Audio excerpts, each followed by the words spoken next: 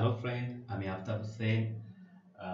আমি এই ভিডিওতে আপনাদেরকে দেখাবো যে ফটোশপের ইন্টারফেস এবং ওয়ার্ক থ্রু তো আমি এই সফটওয়্যারটা ইউজ করছি হলো Photoshop Adobe Photoshop CC two যেটা হচ্ছে সব থেকে আপডেট এবং যদি আপনারা এটা সেট আপ নাও করেন, যদি আপনাদের কাছে পুরাতন ভার্সন থাকে সিএস সিক্স বা সিসি বা টু থাউজেন্ড ফিফটিন যেটাকে বলা হয় অ্যাডবি তো ওইটাতেও আপনি ব্যবহার করতে পারবেন।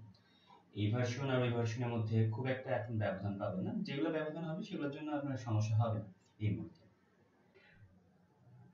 আমি কোর্সে যে জিনিসগুলোকে আপনাদের খুব প্রয়োজন হবে একটা ডিজাইন করতে, তো সেই ডিজাইন করার জন্য যে টুলসগুলো প্রয়োজন হবে সেই টুলসগুলোকে শেখাবো এবং সেই ডিজাইন যেটাকে বলা হয় ইউআই ডিজাইন তো ইউআই মানে হচ্ছে ইউজার ইন্টারফেস ডিজাইন এটা একটা অ্যাপ্লিকেশন যেটাকে আমি বলতে পারি যে এটা ইউআই ডিজাইন এখানে আমাদের দেখা যাবে যে অ্যাপ্লিকেশনের পরের স্টেপগুলো কি হবে এটার পরে কি হবে এটার পরে কি হবে। নিচে আপনি একটা লিঙ্ক দেখতে পারবেন যেখানে গেলে আপনি অনেকগুলা ইউআই ডিজাইনের স্যাম্পল দেখতে পারবেন। তো এই হচ্ছে ইউআই ইন্টারফেস ইউআই ডিজাইন করতে গেলে আমাদেরকে এখানে দেখা যাচ্ছে যে অনেক জিনিসের প্রয়োজন হয়। যেমন হচ্ছে এটা হচ্ছে একটা শেফ এটা শেফ এটা হচ্ছে লোগো এখানে হচ্ছে আইকন টেক্স ঠিক আছে? তারপর হচ্ছে ছবি, তারপর বিভিন্ন ধরনের উইজেস্ট আছে, তারপর হচ্ছে আপনার প্রতিটা জিনিস নিয়ে, প্রতিটা অংশকে নিয়ে যেটা কম্বিনেশন করে সুন্দর করে আমরা ইন্টারফেস দিতে পারি, যেটাকে আমরা মানে সুন্দর করে দেখাতে পারি ক্লায়েন্ট যেটাকে পছন্দ করে, সেই পুরাটা জিনিসকেই বলা হয় ইউআই ইন্টারফেস যদিও আমি হয়তোবা সুন্দর করে আপনাদেরকে বুঝাতে পারিনি, তবে নিচের লিঙ্কে গেলে আপনি অনেক ইউআই ডিজাইনের এক্সাম্পল দেখতে পারবেন এবং এগুলা এখন মানে প্রতিনিয়তই দেখা যাচ্ছে যে আপনার প্রয়োজন হচ্ছে, যে তারা ডিজাইনটার সৌন্দর্যটাকে সুন্দর বাড়িয়ে দিচ্ছে এবং ইউজাররা খুব সহজে বুঝতে পারছে যে কোথার মানে কোনটার পরে কোনটা আমি ক্লিক করব, কোনটার পর কোনটা যেতে হবে। তো এই সব কম মানে কম্বিনেশন যদি করা হয়, তাহলে এটাকে বলা হয় ইউজার ইন্টারফেস আমি এই কোর্সে আপনাদের চেষ্টা করব যে ইউআই ডিজাইন আসলে কীভাবে সুন্দর করে একটা ইউআই ডিজাইনের ইন্টারফেস করা যায়। এবং কীভাবে কি করে আপনার টুলস ব্যবহার করে আপনি একটা সুন্দর ডিজাইন তৈরি করতে পারবেন সেই জিনিসের উপরে আমি ফোকাস দেব এই মুহূর্তে আমি আপনাকে সবগুলো টুলসই দেখাবো না জাস্ট আমি এখন দেখাচ্ছি যে আসলে ইন্টারফেস ডিজাইনটা কি। এই ইন্টারফেস ডিজাইন করতে গেলে আমাকে এই টুলস সম্বন্ধে আইডিয়া নিতে হবে এবং দেখা যাচ্ছে যে এখানে কিছু টুলস আছে যেগুলো এখন আমাদের খুব একটা দরকার হবে না, এগুলো আমরা পরে শিখে নিতে পারব। এখানেও কিছু প্যানেল আছে। তো এগুলো সম্বন্ধে আমি এখন আসলে জাস্ট ওভারভিউটা আপনাদেরকে দিচ্ছি এবং প্রতিটা টুলসেরই আমি আস্তে আস্তে করে এক একটা অপশন আমি চেষ্টা করব যে আপনাদেরকে ডিটেলস বলা এবং যাতে আপনারা সহজেই সব টুলস ব্যবহার করতে পারেন। তো প্রথমে আমি যদি দেখি যে আসলে এই সাইডের এই জিনিসগুলো হচ্ছে টুলস অপশন এই সাইডের অপশনগুলো এই সাইডে টুলস বার বলা হয় এবং এই সাইডে যে উপরে যে অংশগুলো আছে সেগুলো হচ্ছে অপশন। এই উপরে যে অংশগুলো দেখছেন, এটা হচ্ছে আপনার মেনু এই সাইডে যে অপশন দেখছেন, সেটা হচ্ছে এডিশনাল প্যানেল আমি যদি এখানে মুভ টুলসে ক্লিক করি বা মাউসটা এখানে যদি রাখি, তাহলে আমাকে এখানে এই টুলসের নামটা এখানে দেখিয়ে দেবে। যেমন এটা হচ্ছে মুভ টুলস এটা যখনই আমি টিপ দেব, তখন এখানের অপশনগুলা শো করবে, বিভিন্ন অপশন শো করবে। আমি যখন পরের টুলে ক্লিক করব, সেটার নামও এখানে দিয়ে দেবে। এটার নাম হচ্ছে মার্কি টুল মার্কি টুল এটা এখানেরও অনেক অপশন এখানে চলে আসবে। প্রতিটা টুলসের এরকম করে সাব অপশন চলে আসে। তো এখানে প্রতিটা টুলসই আমরা খেয়াল করি, দেখি যে এখানে আসছে, চলে আসছে। পেইন টুলস এবং আপনারা এখানে এই টুলসগুলোর পাশে নামগুলো দেখতে পারবেন। যদি মাউসটা নিয়ে এখানে উপরে রেখে দেন, তাহলে এখানে নামগুলো চলে আসবে, বিভিন্ন টুলসের নাম চলে আসবে। তো এই হচ্ছে আপনার প্রথম অপশনটা আপনারা যদি ফটোশপ সিসি সেট করে থাকেন, তাহলে আপনি সেট করার পরে প্রথমে কোনো কিছু ওপেন করার পরে যেটা আসবে সেটা হচ্ছে যে, এখানে দেখতে পারবেন যে এখানে টুলস অপশন দেখতে পারবেন টুলস বার দেখতে পারবেন। এখানে দেখবেন যে ফাইল অপশন আছে, এখানে বিভিন্ন জায়গায় ক্লিক করলে দেখবেন যে ফাইলে টিপ দিলে অনেকগুলো অপশন দেখা যাচ্ছে। এডিটে টিপ দিলে ইমেজে টিপ দিলে, এরকম উইন্ডোতে টিপ দিলে এখানে অনেক জিনিস চলে আসছে। এই অপশনটাকে বলা এই জিনিসটাকে বলা হয় সাব অপশন যখন আমরা মুভ টুলসের উপরে ক্লিক করব বা আমরা যদি মাউসটাকে নিয়ে গিয়ে যে কোনো একটা টুলসের উপরে রাখি, কিছুক্ষণ রাখলেই আমরা সেটার নাম দেখতে পারব।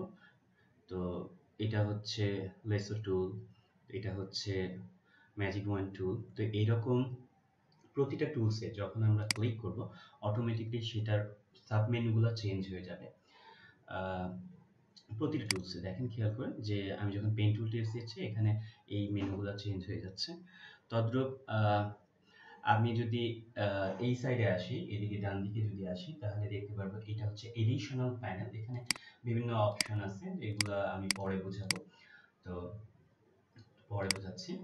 তো এই হলো পুরাটাই হচ্ছে আপনার ইন্টারফেস যখন আপনি এটা ফটোশপ সিসি সেট আপ করে ফেলবেন সেট আপ করার পর প্রথম যে জিনিসটা আপনার আসবে ফটোশপ ওপেন করার পরে আপনি দেখতে পারবেন যে এখানে সিসি টু থাউজেন্ড সেভেন্টিনে যে ইন্টারফেসটা আছে, সেটা এরকম আসবে আর টু থাউজেন্ড ফিফটিনে একটু ডিফারেন্ট আসবে। তো আপনি যদি এখানে চিন্তা করেন যে একটা নতুন পেজ খুলবেন, তো আপনাকে যেটা করতে হবে সেটা হচ্ছে যে নিউ ক্লিক করবেন নিউ ক্লিক করার পরে তাহলে আপনি এখানে দেখতে পাবেন যে একটা নিউ ডকুমেন্ট ওপেন হচ্ছে এবং এখানে ফটো বলে অপশন আছে, যেখানে ফটোর বিভিন্ন সাইজ মেনশন করা আছে, কি ধরনের সাইজ হবে, ঠিক আছে? এটা হচ্ছে আপনার একটা হচ্ছে ভার্টিক্যাল একটা হচ্ছে হরিজন্টাল এটা হচ্ছে আমরা এখানে যে পেজটা খুলবো সেই পেজের নাম লিখতে পারি। চিন্তা করি যে ধরেন আমি একটা নাম লিখলাম আফতাব। তাহলে আমি যখন পেজে ক্লিক করব, তখন ওই পেজের উপরে আফতাব নামটা লেখা থাকবে। এটা হচ্ছে প্রিন্ট অপশন সবথেকে মজার বিষয় হচ্ছে, এখানে আপনি একটা জিনিস দেখতে পাবেন যে, যখন আমরা প্রিন্ট মিডিয়াতে যাব প্রিন্টে ক্লিক করব, তখন দেখবেন যে এটা থ্রি হান্ড্রেড রেজলিউশন আছে। আর ফটোতে বা প্রিন্টে ক্লিক করব, তখন দেখবেন যে এটা থ্রি হান্ড্রেড রেজলিউশন আছে। যখন আমরা ওয়েবে ক্লিক করব, তখন দেখবেন যে এটা অটোমেটিকলি সেভেন্টি টু রেজলিউশন চলে আসে। তো রেজলিউশন জিনিসটা হচ্ছে সেভেন্টি টু হচ্ছে আপনার ইলেকট্রনিক্স মিডিয়ার জন্য, আর থ্রি হান্ড্রেড রেজলিউশন হচ্ছে আমার প্রিন্ট ডিজাইন করার জন্য। তো যখন আমি কোনো প্রিন্ট ডিজাইন বা ফটো কাজ করতে যাব বা অন্যান্য প্রিন্ট ভার্সনের জন্য কাজ করতে যাব, তখন অবশ্যই আমাদেরকে এখানে থ্রি হান্ড্রেড রেজলিউশন দিতে হবে। তো মোবাইলে যদি ডিজাইন করতে যাই মোবাইলের ইন্টারফেস যদি আমরা ডিজাইন করতে যাই, তাহলে এখানে অটোমেটিকলি সেভেন্টি টু চলে আসছে। ফিল্মের যদি বা ভিডিও এডিটিং করতে চাই ফটোশপে এটাও করা যায়। তখন আপনি এই বিভিন্ন ফরম্যাটে দেখবেন যে এখানে সেভেন্টি টু চলে আসছে। এবারে আমি ওয়েবে যাই। ওয়েবে ক্লিক করলে আমি দেখতে পারব যে এখানে ওয়াইডে কতটুকু জায়গা নেবেন আর হাইটে কতটুকু জায়গা নেবেন এই যে জিনিসটা দেখতে পাচ্ছেন তেরোশো ছেষট্টি, এটা হচ্ছে পিক্সেল যখন আমরা ওয়েবে কাজ করব, তখন সবসময় আমাদের পিক্সেলে হিসাব করতে হয়। তো কত পিক্সেল এখানে জায়গাটা নেবেন? যদি ধরেন আমি চিন্তা করি যে আমি ওয়াইডে আটশো পিক্সেল নেব, আর হাইটে নেব হচ্ছে পাঁচশো পিক্সেল এখন হরজেন্টাল হবে, সোজা হবে না মানে ভার্টিক্যাল হবে? তো আমি, এটা হচ্ছে ভার্টিক্যাল যদি আমি ভার্টিক্যাল টিপ দিই, তাহলে এটা সোজা থাকবে। আর যদি আমি হরিজন্টাল টিপ দিই, তাহলে এটা এই অ্যাঙ্গেলে এইভাবে আসবে। এটা হচ্ছে আর্টবোর্ড এটা ক্লিক দিয়ে রাখেন। পরে এটা আমরা আপনাকে বোঝাবো যে আর্টবোর্ডটা কি জিনিস। এটা সেভেন্টি টু থাকবে আর জিবি এমনি চলে আসবে। ঠিক আছে? যখন আমি ওয়েব ডিজাইনের কোনো কাজ করতে যাবেন, আর যখন আপনি প্রিন্ট ডিজাইনের কোনো কাজ করতে যাবেন, তখন দেখবেন যে প্রিন্টে চাপ দিলে এখানে চলে আসবে হচ্ছে কে যেটাকে বলা হয় প্রিন্ট সেকশন তো আমরা এখন দেখাচ্ছি হলো আপনার ওয়েবের কাজ। তো সুতরাং ওইগুলোর দিকে না তাকাই এবং এখানে অটোমেটিকলি আরজিবি শো করবে। সবকিছু দেওয়ার পরে আপনি যদি ক্রিয়েট টিপ দেন, তাহলে এখানে চেঞ্জ করুন আটশো, আর এখানে হচ্ছে পাঁচশো।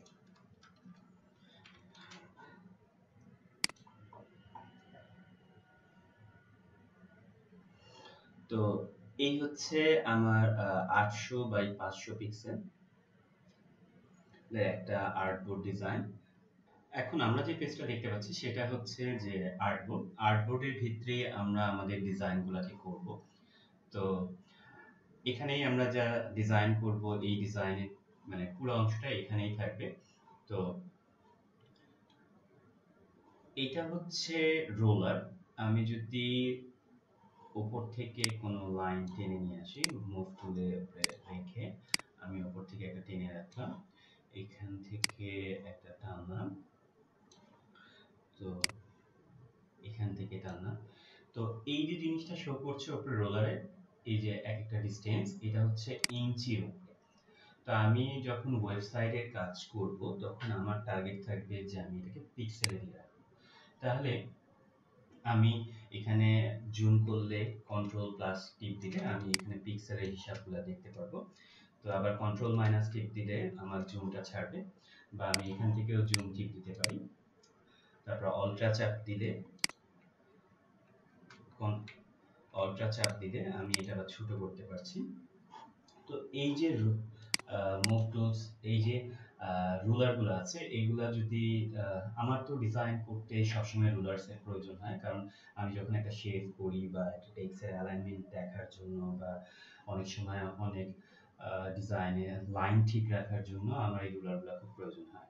যদি আপনি রুলারটাকে বাদ দিতে চান, তাহলে আপনি রুলার উপরে চাপ দিয়ে মুভ টুলসে এরকম আইকন চলে আসবে। তারপর এটাকে দিয়ে এখানে দিয়ে দিলে এটা ডিলাইট হয়ে যাবে।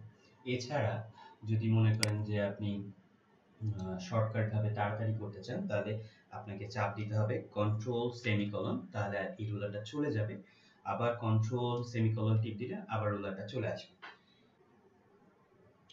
এটা ছাড়াও আরেকটা অপশন আছে যে আমি যদি এই রুলারের এই অপশনটাকে রিমুভ করতে চাই, যে এই যে রুলারগুলো দেখা যাচ্ছে, যে এখানে বিভিন্ন মাপ দেখা যাচ্ছে, তো এগুলোকে যদি আমি ডিলিট করতে চাই বা সরাতে চাই, তাহলে আমাকে ভিউতে যেতে হবে রুলার টিক চিহ্নটাকে উঠিয়ে দিতে হবে। ওই জিনিসগুলো আমাদের চলে যাবে। তো এই হচ্ছে রুলারের ব্যবহার। তো রোলারের পরে যদি আমি দেখি, তাহলে আমাকে দেখতে হবে যে আমি এই টুলসের এখানে এই জিনিসগুলোকে সরাতে পারব। আমি আমার মতো করে আবার এখানে টিপ দিলে এটা এইভাবে হয়ে যাবে, এখানে টিপ দিলে এটা আমি এটাকে সরিয়ে আবার এখানে আনতে পারব। ঠিক আছে? তো আমি আবার এটাকে সরিয়ে নিচে নিতে পারব। যদি আমার মনে হয় যে, না, আমি নিচে থেকে ভালো দেখতে পারব। তো আমার কাছে ভালো লাগে ওপরে রাখলে তো এই ওপে নিয়ে গিয়ে এবার গ্রিনের উপরে ছেড়ে দিলে এটা ঢুকে তো এখানে এই সেম অপশন আছে। আমি যদি এই এডিশনাল প্যানেলের যে অপশনগুলো আছে, এগুলোকে যদি আমি সরাতে চাই, তাহলে সরাতে পারব। আবার যদি চিন্তা করি এখানে দিয়ে দেবো, তাহলে এগুলা একটা একটা করে আমি দিতে পারব। তো উপরে উঠিয়ে দিতে পারব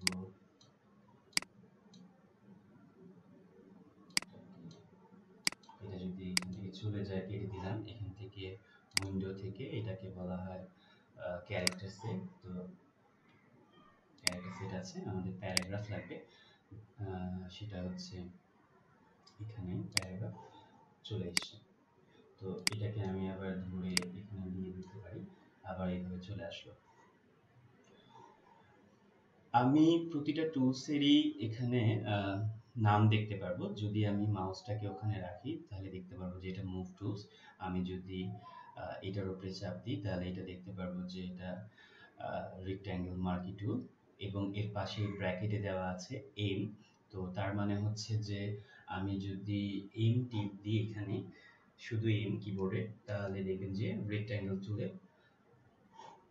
প্রেস পড়ে গেছে। আমি যদি আবার এখানে এই টুলস এর পাশে দেওয়া আছে হলো আপনার মুভ টুল পাশে দেওয়া আছে ভি আমি যদি এখানে ভি টিপ দিই শুধু ভি তাহলে আমার আবার মুভ টুল চলে আসছে।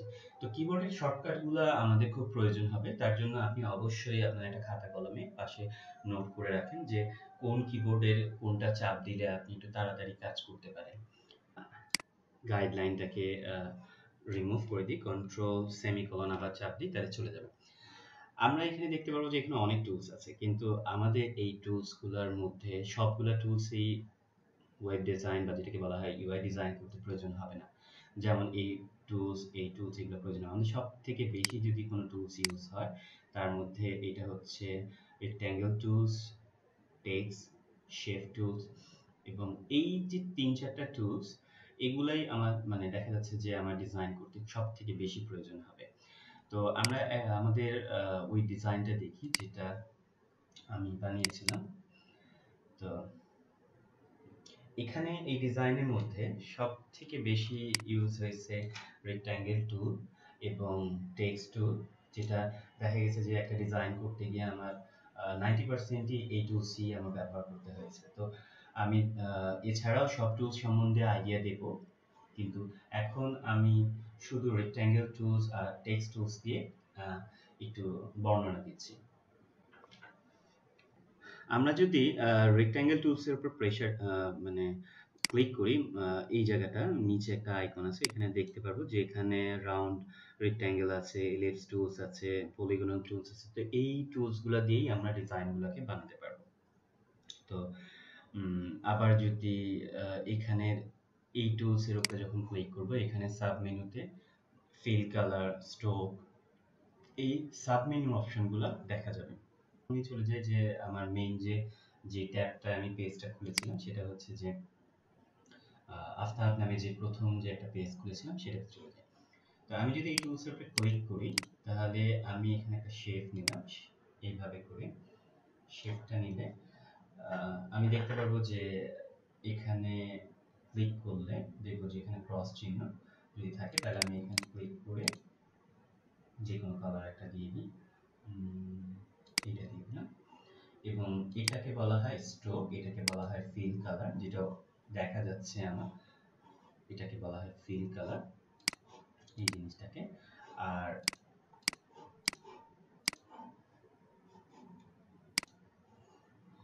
এখানে যদি আমি একটু বড় করি কন্ট্রোল প্লাস চাপ দিলে তাহলে জুম করলে আমি দেখতে পারব যে এখানে আমি যদি আসি, তাহলে দেখতে পারব যে এখানে স্ট্রোক আছে। তো এই স্ট্রোকটাকে আমি এখন আপাতত বন্ধ করে দিচ্ছি। এই যে নাম দিয়ে দিলাম ক্রস চিহ্ন তো এটা চলে গেল। তো এই টুলসে আমি কালারটা চেঞ্জ করতে পারি। যে কোনোভাবেই আমি যদি চেষ্টা করি যে আবার একটু কন্ট্রোল মাইনাস চাপ দিই যদি আমি, তাহলে একটু ছোট হচ্ছে এখন আমি প্রপার্টিজে এইভাবে ক্লিক করলাম, বা যদি আমি প্রপার্টিজ না পাই এই টুলটা এবার শেপ বানার পর আমি উইন্ডোতে যাব, গিয়ে আমি প্রপার্টিজের উপরে টিক চিহ্ন দিলে এখানে আমার প্যানেল অপশনটা চলে আসবে। তো আমি যদি মনে করি যে এই শেপে আমরা রোলারটাকে নিয়ে রাখি। আচ্ছা প্রপার্টিতে আবার যাই। তো আমি যদি চিন্তা করি এই পোর্শনটাকে আমি একটু রাউন্ড করব, একটু একটু শেপটা একটু সুন্দর করব, তাহলে আমি এখানে শুধু যদি লিঙ্ক এই জিনিসটাকে উঠিয়ে দিই, তাহলে আমার এখানে হচ্ছে চারটা অপশন চারটা কোনার জন্য চারটা অপশন আমি যদি এখানে দিই তিরিশ পিক্সেল তাহলে দেখতে পাবো যে এখানে এরকম বাঁকা হয়ে গেছে। আমি যদি এখানে দিই দশ পিক্সেল তাহলে দেখতে পাবো এখানে এইরকম যেরকম হয়েছে, একটু কম হবে। আমি যদি এখানে শেপের টিপ দিয়ে তারপর আপনি প্রপার্টিতে যান তারপর আমি যদি এখানে চাপ দিই পঞ্চাশ, তাহলে দেখতে পারব যে এরকম হয়েছে এখন আমি চাচ্ছি যে কিছুটা শেপের উপরে টিপ দেন। এবং অবশ্যই মুভ টুল দিয়ে যখন আপনি টিপ দিবেন, একটা জিনিস খেয়াল করবেন যে আপনার মুভ টুলের উপরে এখানে অটো সিলেক্টের উপরে ক্লিক করা আছে কিনা, আর এখানে শো ট্রান্সফার কন্ট্রোল ক্লিক করা আছে কিনা। এই সম্বন্ধে আমি আপনাকে পরে বোঝাবো বাট এখানে আগে দেখে নেবেন যে আপনার অটো সিলেক্টে ক্লিক আছে এবং শো ট্রান্সফার তা না হলে আপনার এই অবজেক্ট সরবে না। তো আমি এখন আবার প্রপার্টিতে যাই প্রপার্টিতে গিয়ে আমি এই সব এখানে লিঙ্ক এটাকে বলা হয়, যে লিঙ্কে ক্লিক দিলাম, দেওয়ার পরে আমি এটাকে জিরো করে দিই, এটাকে জিরো করি।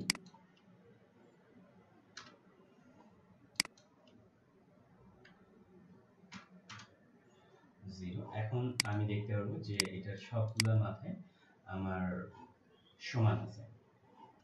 তাহলে আমি যদি চিন্তা করি যে আমি কিছুকে শেপ টিপ দিয়ে রাখি মুভ দিয়ে ক্লিক করে আবার প্রপার্টি দিয়ে আমি যদি চিন্তা করি যে আমি সব কোনায় একসাথে দশ পিক্সেল করে মানে এটা হচ্ছে পিক্সেল পিএক্স মানে হচ্ছে পিক্সেল দশ পিক্সেল করে রাউন্ড হবে, তাহলে আমি এখানে দশ টিপ দিলে, এখানে লিঙ্ক দিয়ে রাখলে আমি দেখব যে সব দিকেই আপনার সুন্দর করে রাউন্ড হয়ে গেছে। আমি যদি আবার ক্লিক করে আবার প্রপার্টিতে যাই, এখানে যদি আমি যে কোনো একটাতে চেঞ্জ করি, তাহলে অটোমেটিকলি সবগুলো চেঞ্জ হয়ে যাবে। কারণ একটাই সেটা হচ্ছে যে আমি এখানে লিংক করে রেখেছি। অবশ্যই এটার উপরে সিলেক্ট করে তারপরে প্রপার্টিতে যাবেন, তা না হলে এই প্রপার্টি শো করবে তো আমার দরকার নেই, আমি এবার এটাকে জিরোতে রাখি। জিরোতে রাখার পর আমার সব অবশ্যই অবশ্যই কিন্তু এটা খেয়াল করবেন না হলে কিন্তু এই লেয়ার সরবে না, এই শেপটা সরবে না। তো আপনি যদি এই দুইটা টিক বাটন দেওয়া থাকে, তাহলে আপনি লেয়ারটা যখন ইচ্ছে যে কোনো ভাবে সরাতে পারবেন। তো আমি যদি চিন্তা করি যে আমি এটাকে একটু বড় করব, তাহলে আমাকে এটা টানলে বড় হয়ে যাবে। এবং আমি দেখতে পারব যে আমার এখানে পাশে লেখা উঠবে সাতশো আশি, আটশো। আমি যদি আবার এখানে ছোট বড় করতে চাই, দেখতে পারব একশো সাত একশো পিক্সেল তো আমি এখানে একশো রাখি আর এদিকে আটশো রাখি। এখন এইটা ট্রান্সফার যখন করেছি, তখন এই ট্রান্সফার করার পরে আমাকে অবশ্যই এন্টার বাটন চাপ দিতে হবে তা নাহলে এই ট্রান্সফার ছাড়বে না। তো আমি এন্টার চাপ দিলাম, দেওয়ার পরে আমি এখানে বাইরে ক্লিক করলাম।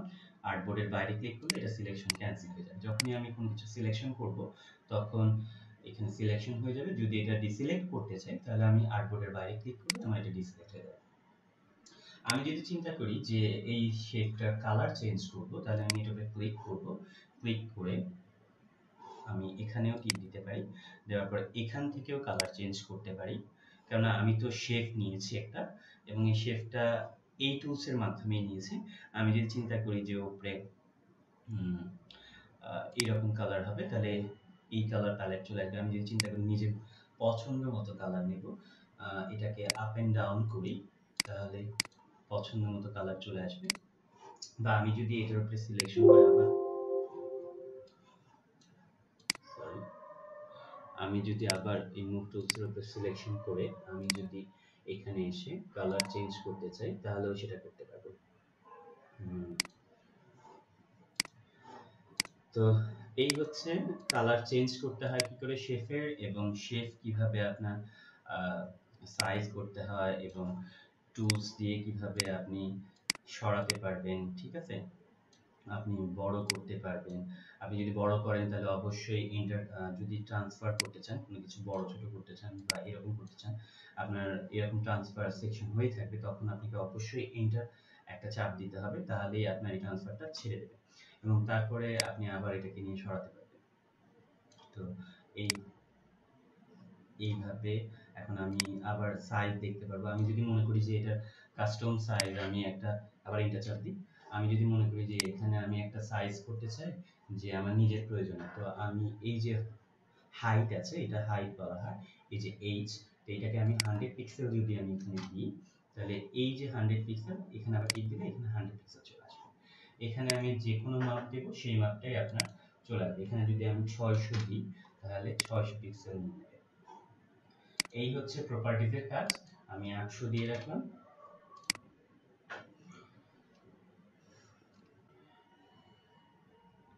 আমি যদি আরেকটা শেপ নিই এখানে, এইভাবে করে আরেকটা শেপ নিলাম, নেওয়ার পরে আমি চিন্তা করলাম যে এই শেপটার আমি কালার দেব, এখান থেকে যে কোনো একটা কালার নিলাম। নেওয়ার পরে আমি স্ট্রোক কালারটাকে বন্ধ করে দিলাম। যে স্ট্রোক বলতে আমি যদি ধরেন গোলাপি কালারটা নিলাম, এই সাইডে একটা কালো অংশ আছে। এটাকে ফিল কালার বলা হয়, এটাকে স্ট্রোক কালার বলা হয়, এটা আমি আবার বলছি। আপনি মুভ টুল দেখে সিলেকশন করেন, আবার টিপ দেন আপনার এখানে গিয়ে স্টোভটাকে বন্ধ করে দেন। তো আমি এই কালারটা যদি আমার আবার মনে হয় যে আমি চেঞ্জ করব, আমি দুইভাবে করতে পারি, অনেকভাবেই করা যায়, তবে আমি দুইভাবে দেখাচ্ছি। সেটা হচ্ছে আপনি প্রপার্টিতে গিয়ে আপনি যে কোনো কালার প্যালেটকে আবারও চেঞ্জ করতে পারবেন। দিয়ে এটা রাখলাম ধরলাম। এটা রাখি। এবারে যদি আমার মনে হয় যে আমি একটা গোলাকার একটা শেপ বানাবো তাহলে আমি এই গোলাকার শেপটাকে এই ইলিপস টুল দিয়ে বানাতে পারি। ইলিপস টুল দিয়ে বানানোর পরে আমার এই ইলিপস টুলের আমি আরেকটা কপি যদি চাই যে আরেকটা কপি হবে, তাহলে অল্ট্রা চাপ দিলাম। অল্ট্রা চাপ দিলে আমার আরেকটা কপি হয়ে যাবে। তো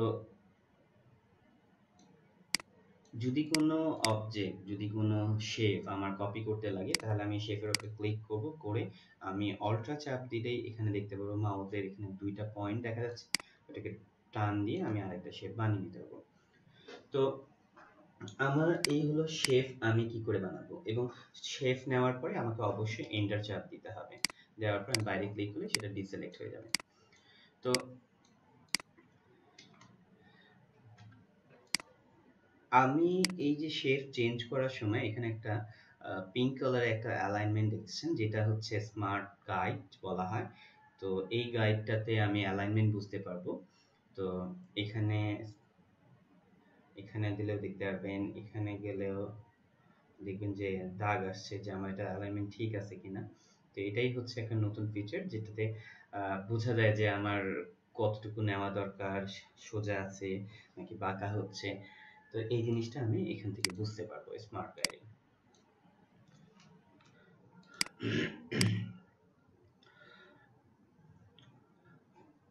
আমরা এখন শেপ সম্বন্ধে একটু দেখলাম যে শেপটাকে কীভাবে সুন্দর করে আমরা বানাতে পারি। যেমন যদি কোনো শেপ দরকার না হয়, তাহলে আমি এটা শেপটাকে ডিলিট করে দিই এখন আমি যে ডিজাইনটা বানিয়েছি, ধরলাম এই ডিজাইনটাকে এই ডিজাইনটাকে কীভাবে বানানো যায় বা কি করে করা যায়, সেটাকে একটু ডেমো দেখি। তো যদি আমি চিন্তা করি এটা একটু ছোট করি এটারে আবার বড় করি, বড় করার পর এন্টার চাপ দিই ছেড়ে দিলাম। এখানে কালারটাকে এমনি এখন গ্রে কালারের মধ্যে রাখি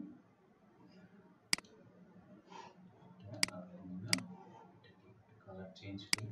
আমি খালি এগুলো এখন দেখাচ্ছি যাতে আপনারা বারবার কালারটা চেঞ্জ করতে পারেন বারবার প্র্যাকটিস করতে পারেন। ডিজাইন অবশ্যই পারবেন। ডিজাইন এমন কঠিন কিছু না। তো আমি আবার ডিলিট করি। সিলেকশন করে ডিলিট করে দিলাম। এবার এটাকে একটু ছোট করি। শিফট চেপে যদি আমি ছোট করি, এটার উপরে শিফট চাপে, তাহলে সমান অনুপাতে ছোট হবে। হুম। শিফট চাপ দিলে শিফট দিয়ে আমি ওই ট্রান্সফারটাকে সিলেক্ট করে আমি যেভাবে ইচ্ছে ছোট করতে পারব, বড় করতে পারব। তো এটা আবার এন্টার চাপ দিতে হবে। দেওয়ার পরে আমি এখানে নিলাম আবার অল্ট্রা চেপে আরেকটা নিচে অংশ কপি করে তো কপি করে নিচে আরেকটা নিই।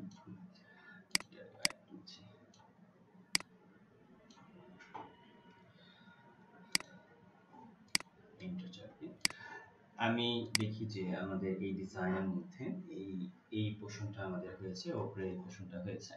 তো এখন আমি একটু টেক্সট নিয়ে দেখি। যদিও এটা ডেমো ডিজাইন হচ্ছে, আমরা খালি টুলস বোঝার জন্য মানে কীভাবে কি টুলস ইউজ করা হয়, সেই জিনিসটাকে করছি তা আমি একটু ডেমো টেক্সট লাগবে, তো আমি ব্রাউজারে যাই। করি ব্রাউজারে ক্লিক করার পর এখানে গুগলে লিখি ডেমো টেক্সট ডেমো টেক্সট লেখার পর সার্চ দিই দেওয়ার পরে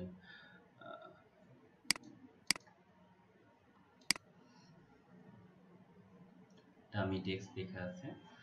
তো ডামি টেক্সটের জন্য আমি এখান থেকে কিছুটা কপি করে ওয়েদার ঠিক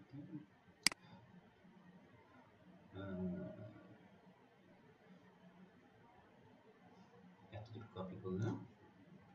কন্ট্রোল সি কপি হয়ে যাবে। এবার আমি এখানে সিলেকশন করে এখানে দিয়ে দিলাম এখন এখানে টেক্সট আসছে, কিন্তু টেক্সটের কালার আসেনি। তাহলে আমি এখানে এন্টার চাপ দিই। কেন আসেনি, কিসের জন্য আসেনি, আমি এখন একটু দেখি। সেটা হচ্ছে, আমি আবার টেক্সটের উপরে টিপ দিলাম। দেওয়ার পর দেখলাম যে আমার যে টেক্সটে কালার দেওয়া, সেটা হচ্ছে হোয়াইট তো আমি এখানে কালারটা চেঞ্জ করে দিই। এবং এখানে যেতে হবে আমাকে লেয়ারে এই চিহ্নটা হচ্ছে লেয়ার এইটা টিপ দিলে আমি এটা আবার একটু টেনে বড় করে নিই। আমি এই হচ্ছে আমার টেক্সটটা তো এটা যদি আপনাদের এখানে নাও থাকে, তাহলে আপনি উইন্ডোতে টিপ দেবেন। উইন্ডোতে টিপ দিলে এখানে লেয়ার টিপ দিলে আপনার লেয়ার চলে আসবে। তো এটার উপরে টিপ দেওয়ার পরে আপনি এরপরে চলে যান হচ্ছে ক্যারেক্টারে ক্যারেক্টারে ক্লিক করেন। ক্যারেক্টারে নিচে টেনে নিয়ে চলে আসেন। আনার পরে এইটার উপরে সিলেকশন আছে কিনা দেখেন লেয়ার যদিও লেয়ারের পুরাটা আমি আপনাদেরকে বোঝাবো, ঠিক আছে? লেয়ারের বিষয়টা আমি ডিটেলস আপনাদেরকে পরে বোঝাবো। এখন শুধু এটা ইন্টারফেস হচ্ছে, আসলে কীভাবে বোঝাতে হয়। তো লেয়ারে যাওয়ার পর আমি দেখলাম যে এটা হোয়াইট আছে, আমি এটারে কালার চেঞ্জ করে যে কোনো একটা কালার এই হচ্ছে আমার টেক্সট এখন আমার টেক্সট হয়ে গেছে। আমি যদি চিন্তা করি টেক্সটের একটু সাইজ বড় হবে, তাহলে এখানে টেক্সটের সাইজ আমি বারো আছে, আমি চিন্তা করি চব্বিশ দিয়ে দিই। চব্বিশ বেশি বড় হয়ে যাচ্ছে আঠেরো দিয়ে দিই। আঠেরো দেওয়ার পরে ষোলো। এখানে হচ্ছে ফ্রন্টের নাম, কি ফ্রন্ট আপনি ইউজ করবেন, এখানে বিভিন্ন ধরনের ফ্রন্ট আছে।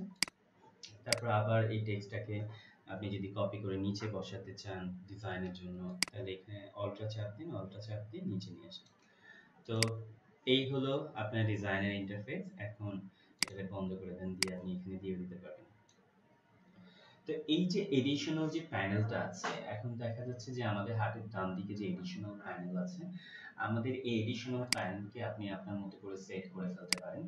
আমি আমার এখানে সেট করেছি হলো ইউআই ডিজাইন দিয়ে। আমি যখন ইউআই ডিজাইন টিপ দেব, তখন এখানে ফটোগ্রাফিতে চলে গেলাম। ফটোগ্রাফিতে ফটোগ্রাফির অপশনে যা যা প্রয়োজন হয় সেগুলো সেট করা আছে। আপনি আবার যদি এখানে টিপ দেন দেখতে পাবেন অ্যাসেনশিয়াল যেগুলো আপনার মানে খুব প্রয়োজন হবে সেগুলো চলে আসবে।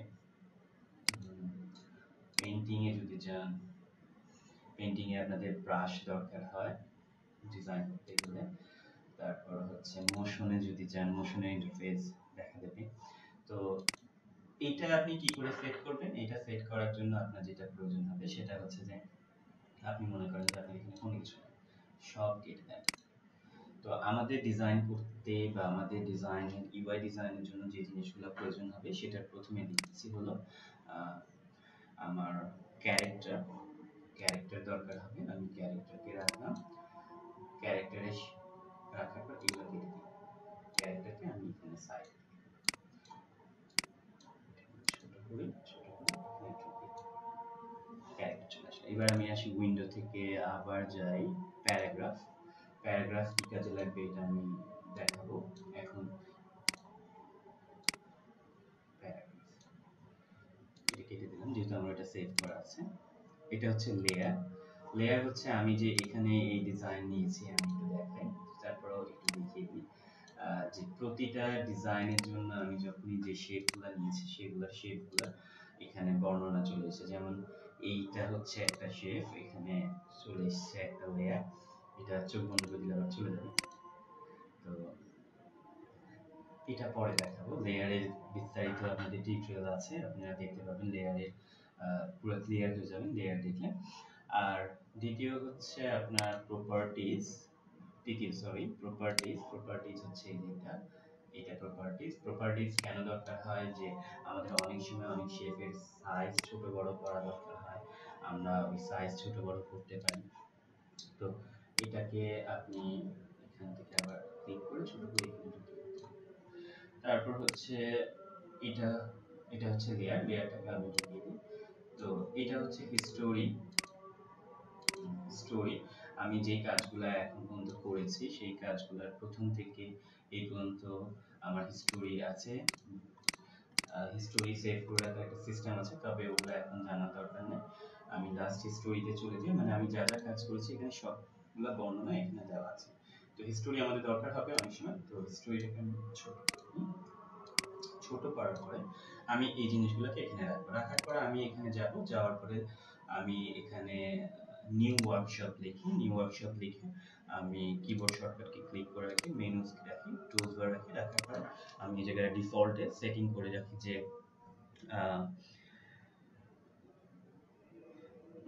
ইউআই ওয়ান বা ইউআই টু মানে আমার তো ইউআই ডিজাইন করা আছে, দিয়ে আমি সেভ করে দিই তো আমি যখনই দেখব যে ইউআই ডিজাইন টুতে ক্লিক করব, আমার যদি মানে ওয়েব ডিজাইন করার ক্ষেত্রে দরকার হয়, তাহলে আমার এই সেটিংটা আমার নিজের মতো করে, আমার নিজের পছন্দের মতো করে আমি করে রাখতে পারব। এই হচ্ছে এডিশনাল প্যানেল বৈশিষ্ট্য। তো তো আমরা এখন দেখতে পেলাম যে আসলে কীভাবে শেপ নিতে হয়, কীভাবে শেপ করতে হয় তো শেপ আপনি কপি করতে হয়, কি করে শেপের কালার চেঞ্জ করা যায়, কীভাবে আপনি আপনার মানে সেটিংটা করতে পারবেন, এই সব কিছুই আমরা এখানে দেখেছি। এবং এরপরে এটা হচ্ছে আসলে শুধু ইন্টারফেস সম্বন্ধে একটু বোঝালাম, কারণ আমি সবগুলো জিনিস একটু সংক্ষিপ্ত সংক্ষিপ্ত করে, ছোট ছোট করে বুঝিয়ে দিয়েছি। এরপরে আমি চেষ্টা করব যে আপনাদের মুভ টুলস বিস্তারিত সব টুলস সম্বন্ধে ইভেন লেয়ারের বিষয় প্রপার্টিজের বিষয়, সব বিষয়গুলা ইন ডিটেলসে এক একটা টুলস করে আমি আপনাদেরকে আমরা যে জিনিসগুলো দেখলাম, সেটা হচ্ছে আসলে ইন্টারফেস এবং মূলত টুলসগুলোকে আমরা কীভাবে মানে সহজে জিনিসটা ভয়টাকে যেন কাটিয়ে ফেলা হয়। যেমন আমি দেখা গেছে যে আমার অনেক আগে যখন আমি ফটোশপ শুরু করি, তখন আমি ইন্টারফেস দেখে অনেক ভয় পেয়ে গেছিলাম। তবে আমি আশা রাখি যে আপনারা ভয় পাবেন না, কারণ এখন এটা আমার কাছে মজা লাগে। তো আমিও চেষ্টা করব যে একেবারে যে জিনিসগুলো একেবারেই খুব প্রবলেম হয়, যে জিনিসগুলো আপনারা বোঝেন না, যে জিনিসগুলো বোঝা দরকার, সেই জিনিসের দিকে খেয়াল করব।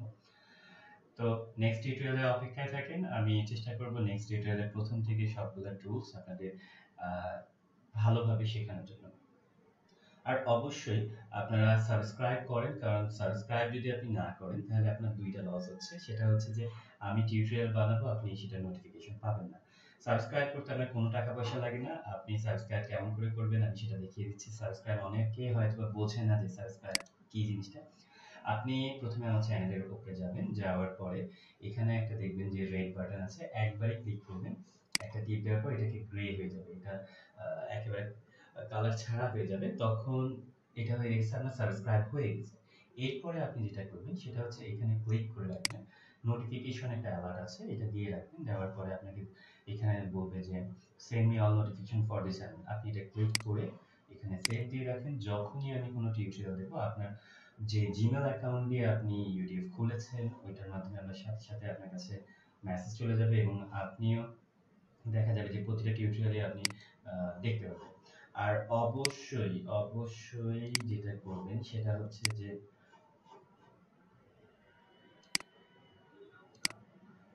আপনি এখানে এসে আপনার প্রবলেমগুলো এখানে মেসেজে লেখেন যে আপনি এই জিনিসটা ভালো লাগছে বা আপনার কোন জিনিসটা কোথায় বোঝেন নাই সেই প্রবলেমগুলোকে আপনি সলিউশন চাচ্ছেন, সেই জায়গাগুলোকে আপনি মেসেজে লেখেন। আর দ্বিতীয় কথা হচ্ছে যে ভালো লাগে লাইক দেন খারাপ লাগলেও ডিসলাইক দেন, যেটা ইচ্ছে সেটাই দিন, কোনো সমস্যা নেই। আমি চেষ্টা করব ডে বাই ডে এটাকে ইমপ্রুভ করার। আর আর যখন আমার এখানে একশো সাবস্ক্রাইব হয়ে যাবে, তখন আপনাদের জন্য একটা সারপ্রাইজ থাকবে। আমি চেষ্টা করব যে আপনাদের জন্য লাইভে আসার। কারণ আমি আপনাদের যে দুইটা করে সাতটা টিউটোরিয়াল দেব এই দুইটা টিউটোরিয়াল দেখার পর আপনারা যে যে প্রবলেমগুলো করবেন, সেই প্রবলেমগুলোকে আমি লাইভে এসে আপনাদেরকে সপ্তাহে একটা দিন, যে কোনো একটা দিন ধাপ মানে নির্ধারণ করব এবং একটা দিন আমি চেষ্টা করব যতটুকু আমি পারি আপনাদেরকে সাপোর্ট দেওয়া তো ভালো থাকেন, সুস্থ থাকেন। পরে টিউটোরিয়ালে আবার দেখা হচ্ছে। আল্লাহ হাফেজ।